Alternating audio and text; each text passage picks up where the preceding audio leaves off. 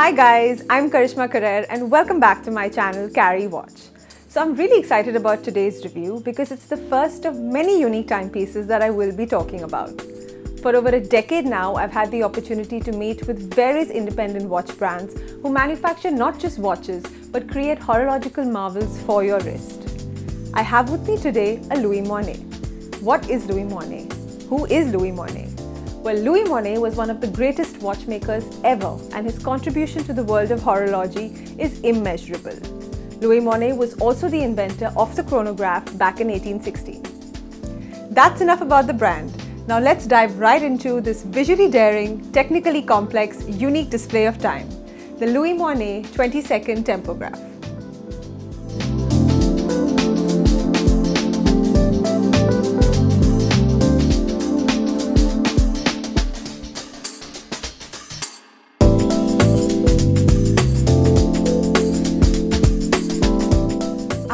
See here, the face of the watch has a lot going on. At 4 o'clock is the actual domed dial that displays the hours and the minutes which are shown by lume-filled blue tinted glasses with dewdrop tips, which is one of the aesthetic hallmarks of Louis Moinet. The dial also features the classical railroad markers and Roman numeral hour markers. But what is so unique about the watch? I am talking about that playful spectacle on the dial.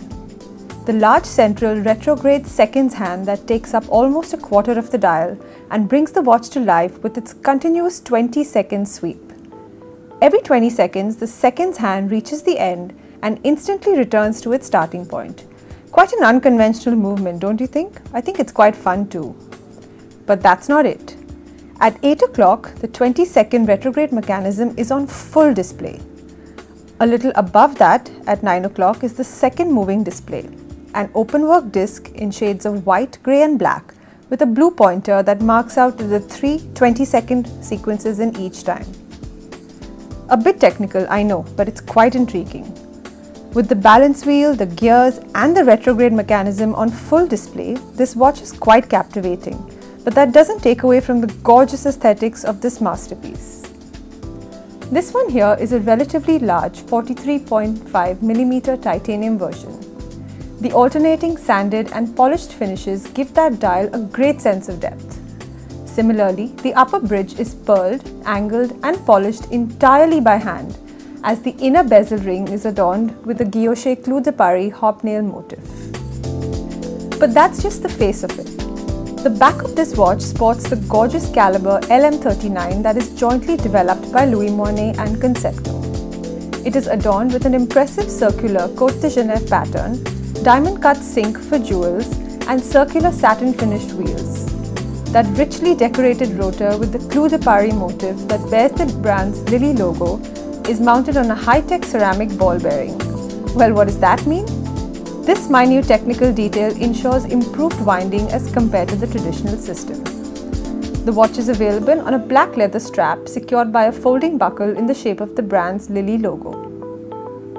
Okay, so I know that the video was a bit technical, but for me, the 20 second tempograph is at the very helm of traditional watchmaking. Just look at this watch.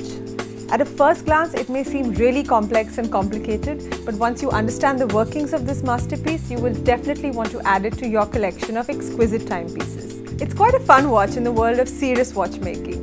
The watch is also available with a black dial in a limited series of 365 pieces with a blue dial in a limited series of 60 pieces and in a rose gold version in a limited series of 60 pieces. This one here is with a white dial and is available in a limited series of 365 pieces at an approximate price of 22,000 Swiss francs. If you like this video, do subscribe to my channel and hit the bell icon so you don't miss out on all the cool updates every week. And if you want me to review any watches, do let me know.